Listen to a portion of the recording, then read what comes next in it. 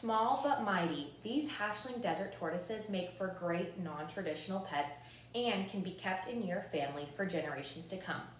Each year, the Arizona Game and Fish Department adopts out hundreds of captive desert tortoises ranging from hatchlings to adults that have been surrendered to the department. A desert tortoise that is properly cared for with a balanced diet and active lifestyle can live for upwards of 80 years.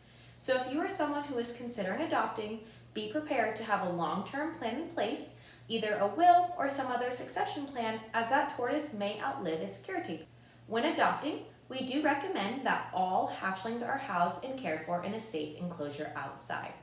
Tortoises thrive on natural sunlight and an indoor enclosure struggles to mimic those conditions. For an outdoor hatchling enclosure, you have two options.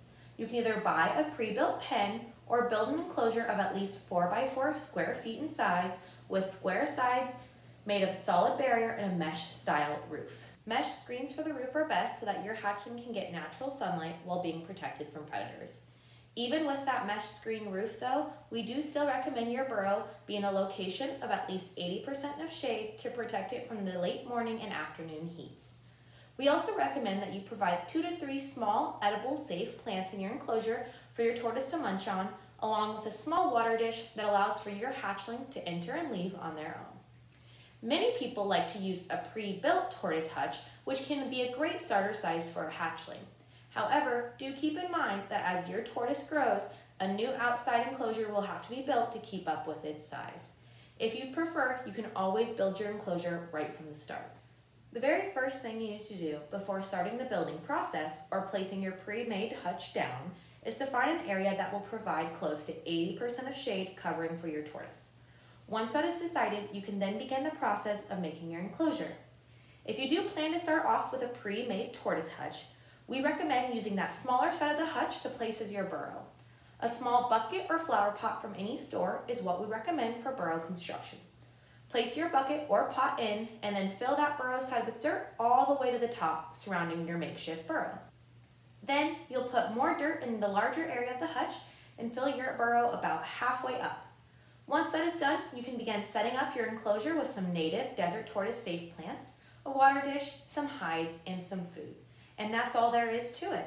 Now, if you prefer to build your own enclosure, you'll need to start off with a space of 4 feet by 4 feet minimum. The hatchling enclosures we recommend and we like to build are made up of cinder blocks.